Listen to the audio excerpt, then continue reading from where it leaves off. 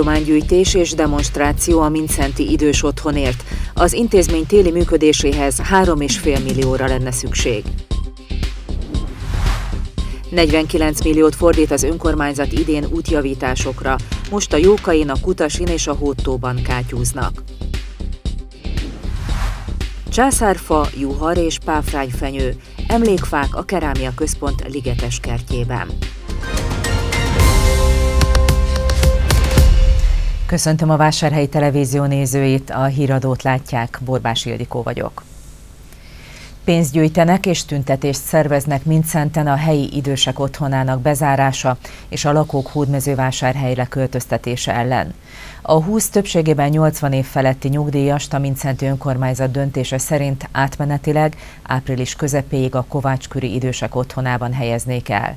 Csütörtökön több mint 200-an vettek részt azon a lakossági fórumon, amit a Kistérségi Társulás elnöke Márkizai Péter tartott a Mincenti Művelődési Házban.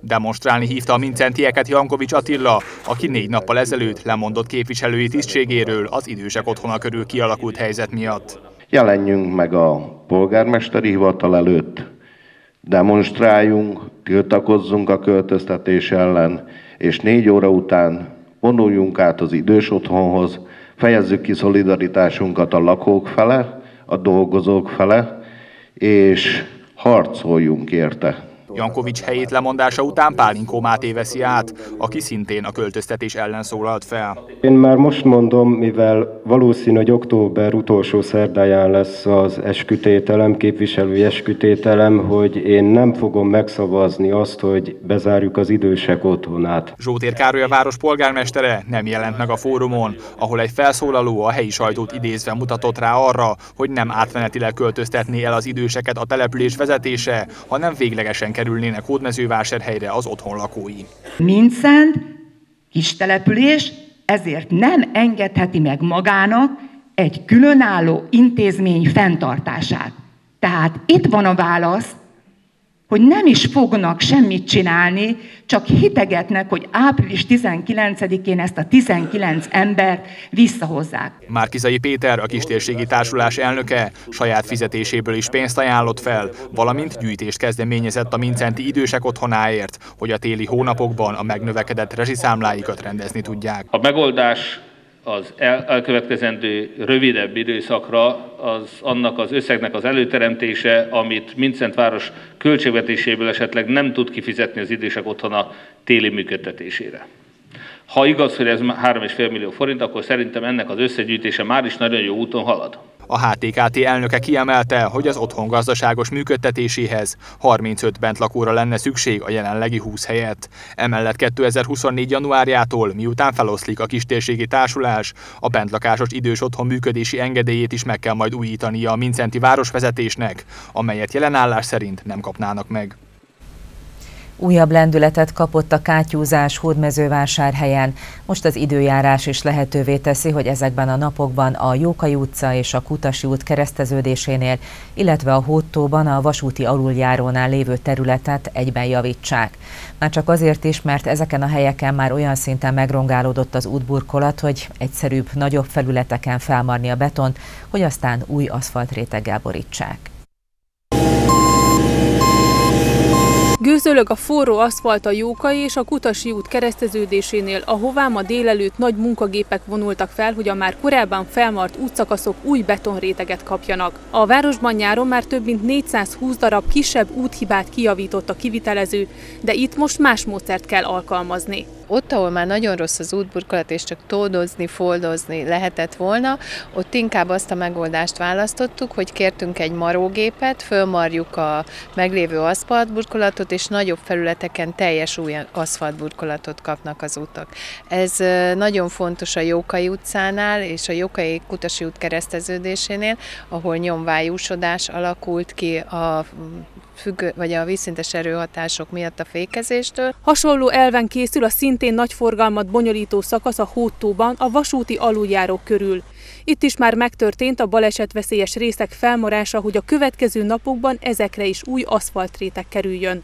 A munkálatok helyenként félpályás útlezárásokkal járhatnak. Ezek a munkálatok pár napot vesznek igénybe, ez idő alatt tényleg nagyon szépen kérjük a gépjárművezetők türelmét, hiszen azon vagyunk, hogy minél érthetőbben ki legyen táblázva, minél jobban meg legyen csinálva, de valóban szükség van a türelmükre. Néha lehet, hogy várni kell egy kicsit az útlezárás miatt, de föl fogják oldani, tehát segítik a forgalmat mindenképpen a dolgozók is.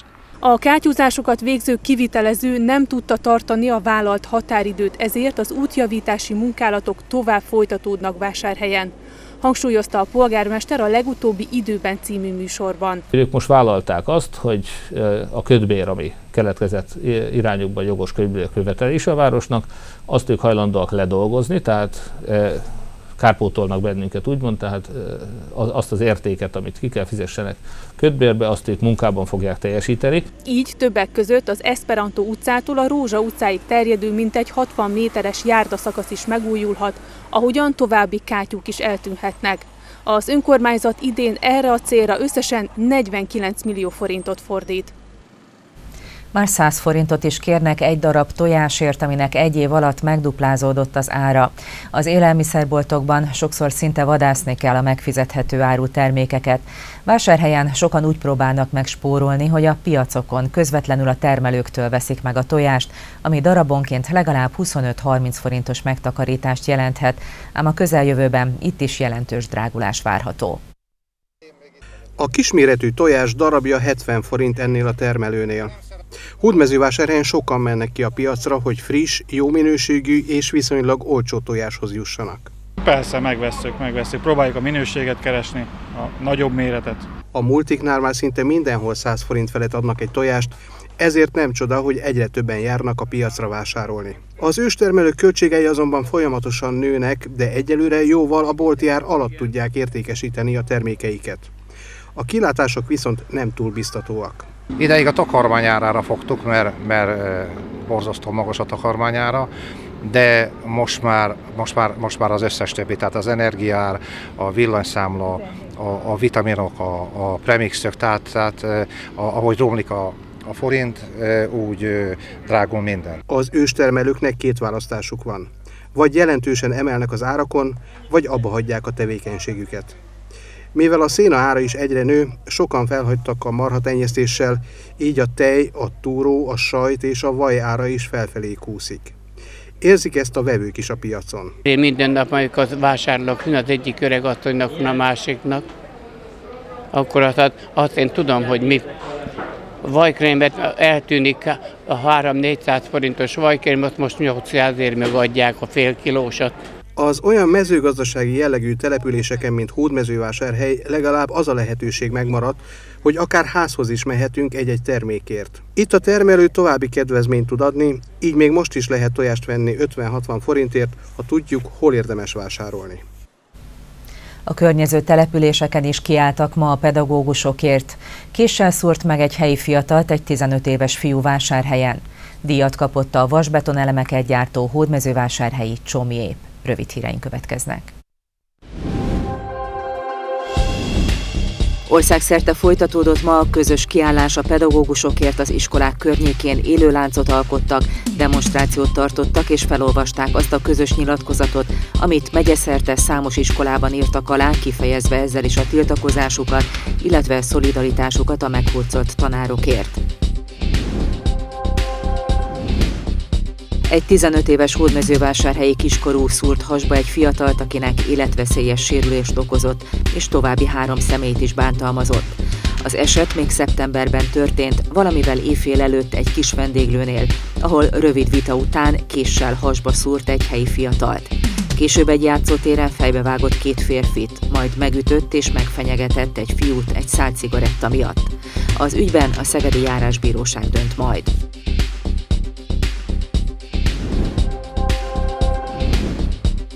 Második alkalommal tartották meg a Top 100 gazdasági konferenciát a Szent Gellért Fórumban Szegeden.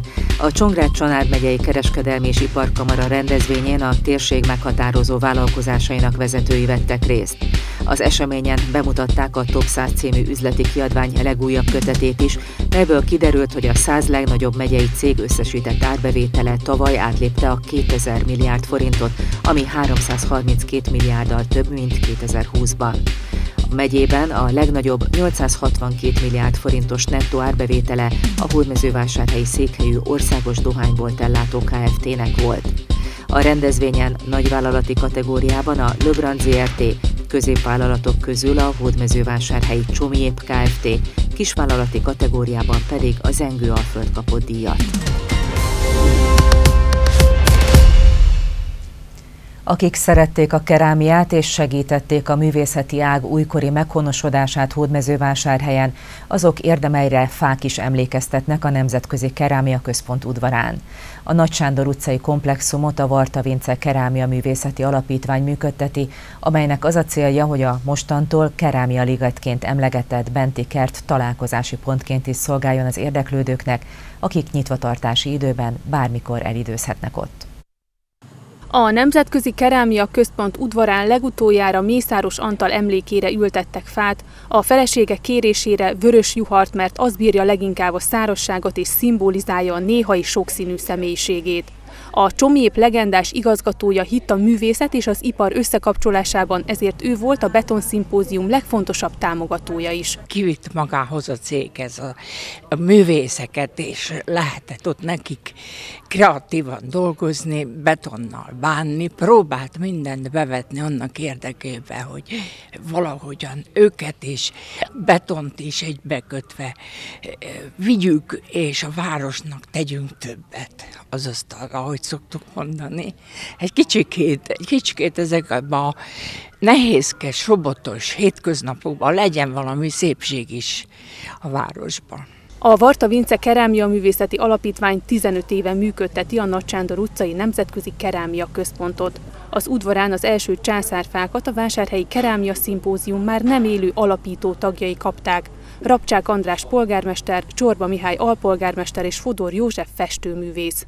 Akik a kerámia művészet hódmezővásárhelyi meghonosításáért, és főleg a professzionális művészetnek a idehívásáért felelősek idézőjelben, hát ő nekik szeretnénk ezzel a kerttel, ligettel emléket állítani. Faőrzi még Dömötör János múzeumigazgató, Csáki Imre építész, Schleifer Ervin, a Burton Aptagyár igazgatója, valamint nem utolsó sorban Almás István polgármester emlékét.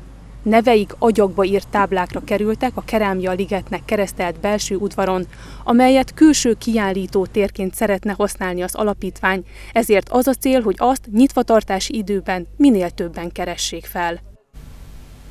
A Vásárhelyi Természetvédelmi Egyesület szombaton a téglagyári tavaknál szervezi meg az Európai Madár Megfigyelő Napok helyi rendezvényét, amelyre az érdeklődőket is várják.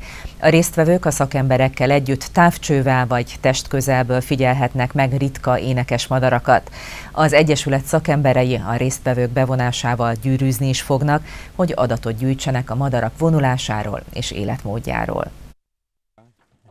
Egy vörösbegyet gyűrűz Versecki Nikoletta. A Vásárhelyi Természetvédelmi Egyesület az Európai Madár Megfigyelő Napokhoz kapcsolódva szombaton kitelepül a madarak kedvelt élőhelyére, a téglagyári kubikgödrökhöz, hogy adatokat gyűjtsenek az állatokról. Megfogjuk őket, a lábukra helyezünk egy egyedi kóddal ellátott fémgyűrűt, különböző adatokat veszünk föl róluk, ez bekerül ugye egy nagy országos adatbázisba, és tulajdonképpen az ő védelmükkel, vonulásukkal kapcsolatban nagyon sok információt tudunk ezáltal meg. A madarak számára a kubik gödrök jelentik az egyik utolsó háborítatlan költési és életteret hódmezővásárhelyen.